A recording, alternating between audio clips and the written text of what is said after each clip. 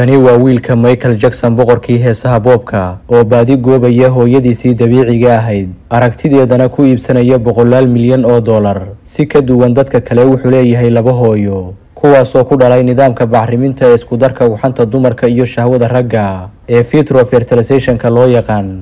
Hooyadiisa runta aabihii mooye cid kaloo taqaan dunida guudkeeda waa laga waayey waana haweeney braziliana oo waxanteeda lagu bacrimiyey shahwadii laga soo qaaday michael jackson. Halka haweeneydii riximkeeda lagu beeray ee sagaalka bilood caloosha ku siday laga soo qaaday hooyo kumeel gaara oo la soo kiraystay wiilkani waxa uu naawilayaa inuu helo ruuxii laga beeray ee saxda ahaa. Nimco walba nusqaanteeda lehe wuxuu aabihii ka dhaxlay boqolaal milyan oo dollar balse wuxuu dhintay isagoon u sheegin hooyadiisa rasmiga. Wiilkani ma helin daryeelkii dareenka hooyanimo wuxuuna daal iyo dacdarro u marayaa helidda xogo iyo xaqiiqooyin ku saabsan. Cidday tahay iyo halkay hooyadii ku nooshahay. Brincy jackson two maanta oo laga joogo dhalashadiisii labaatan sano wuxuu ka gamila yahay xanuunka hooyo la'aanta isagoo murugo iyo tiiraanyo ay ka muuqato. Wuxuu yidhi hantidayda oo dhan waa ku iibsan lahaa aragtida hooyaday. Haddii aan maruun helayo nasiib darrose dumar badan oo ku dooday inay iyagu dhaleen wiilkan ayaa ku dhacay baaritaanka natiijada d n a fadlan leeg saar muuqaalkan. Haddaad noo sheergaraysana waxaan goyn doonaa malaayiin mayl. Mahadsanid inkastoo boqorka boobku uu ku soo koray nolol adag uuna gaaray heer aabihii uu ku qasbi jiray isagoo shan jir inuu masraxa soo fuulo hibadiisana soo bandhigo. Maxaa yeelay isaga iyo qoyskiisuba waxay ku tiirsanaayeen kooxda aabihii ee jackson five. Kolkii uu weynaaday michael jackson waxa uu ku riyoon jiray inuu aabe noqdo. Sannadii kun sagaal boqol sagaashan iyo afartii ayayna ahayd markii michael jackson uu si hoose u guursaday gabadha keliya ee uu carruurta ka dhalay. Fanaankii hore ee ilfis bresley oo asbuucii hore geeriyooday. Gabadhan oo magaceeda la odhan jiray eliza kolkay laba sano isqabeen michael jackson ayaa waxay sheegtay inaysan diyaar u ahayn inay carruur dhasho. Si kastaba ha ahaatee riyadii michael jackson waxaa dabka ku sii shiday diidmadii qoftii uu dunida ka calmaday oo qudheedu diiday inay isaga carruur u dhasho sidaa darteedna isla sanadka ayuu michael jackson wuxuu guursaday deybi oo ahayd neersin hore taasoo u dhashay wiil iyo gabar lagu kala magacaabo baris iyo brincy inkastoo gabadhaasi ay sheegtay inuusan weligeed la seexan ama la kulmin haddana waxa lagu beeray shahwadiisa oo keliya. Markay dhashay carruurtii loogu sugidda badnaa xilliga ayaa loo sheegay inay iska baxdo waxaana laga soo qaaday weel wax lagu shubtay. Sidaa awgeedna waa ay kala tageen waxaana la siiyey siddeed milyan oo dollar oo looga iibiyey xaquuqda haysashada carruurta sannadii labadii kun iyo labadii fanaankii madow ameerikaanka ahaa ee michael joseph jackson ayaa ka soo muuqday balakoonka hoteel ku yaal dalka jarmalka oo taageerihiisu hoostiisa ay dhoobnaayeen xilligaas oo taageerayaashiisu ay sugayeen in michael jackson iyo wiilkiisu ay isu eg yihiin bacdamaa lagu xaman jiray sida uu ku dhalay carruur caddaana isagoo midabkiisa asalka uu ahaa madow dugula. Laakiin taageerayaasha waa uu ka qariyey wejiga wiilkiisa wuxuuna ku qariyey bustaha carruurta qabowga looga celiyo. Xilligaana wuxuu ahaa sagaal sana jir.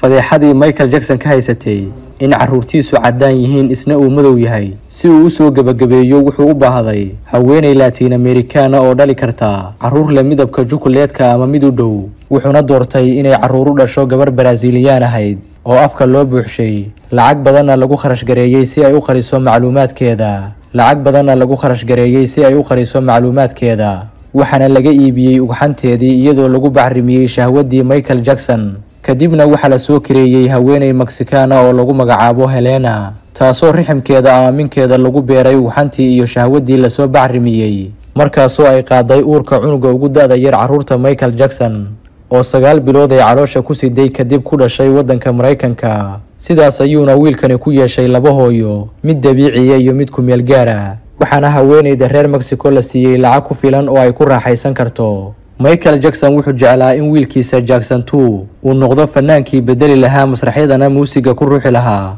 maadaama waagii uu yaraa uu cod macaan ku qaadi jiray heesaha balse wuxuu u weecday inuu noqdo daaragtar filimada sameeya isaga iyo walaashii baris oo uu heliyo adeerkoodii wax ka soo koriyey. Ayaa waxay sannadii labadii kun iyo sagaal iyo tobankii asaaseen janal youtube-ka oo la soo geliyo aflaamta laguna falanqeeyo filimada. Brincy jackson two wuxuu kaga duwan yahay walaalihiisa kale in isagoo siddeed iyo toban jira uu iibsaday guri qasriya oo laba milyan oo dollar ku fadhiya kana kooban lix qol oo jiifa iyo baarkino waaweyn. Waxaana lacagta uu haysto lagu sheegaa boqol milyan oo dollar. Lacagta midkiiba uu qaato sanadkiina waxaa lagu sheegaa min shan milyan oo dollar. Wiilkani waxa uu naawilayaa inuu helo ruuxii laga beeray ee saxda ahaa. Bishaaro bishaaro ma tahay hooyo soomaaliyeed oo ku nool qurbaha gaar ahaan maraykanka kanada iyo yurub. Ma dareemaysaa inaad u baahan tahay inaad hesho dhaqaale ama dakhli ka madax bannaan? Midka aa hadda samayso. Ma doonaysaa inaad muddo kooban ku hesho maal adduunoon xad lahayn?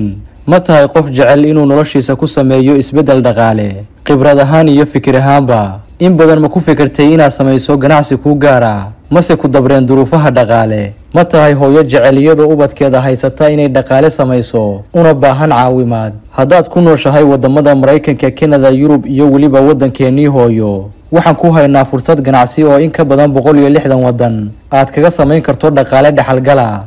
Shirkadda weyn ee foever living oo soomaali badan u fidisay fursad ganacsi waxay kugu bishaaraynaysaa fursad aad dhaqaale kooban ku bilaabi karto. Haddii ay kaa go-an tahay islamarkaana aad tahay qofka loo baahan yahay fadlan la xiriir manajer cusmaan oo dad badan ka caawiyey sidii ay u gaari lahaayeen isku filnaansho maaliyadeed iyo khibrad ganacsi. Manajer cusmaan wuxuu ku dhex leeyahay foever living ganacsi ka shaqeeya wadamo badan. Adigana wuxuu diyaar kugu yahay wadisab namber balaas hal afartan iyo kow lixdan iyo shan toddobaatan iyo sagaal siddeetan konton iyo saddex. Waase haddii aa awooddo inaad bilowdo ganacsigan oo ay kaa go-an tahay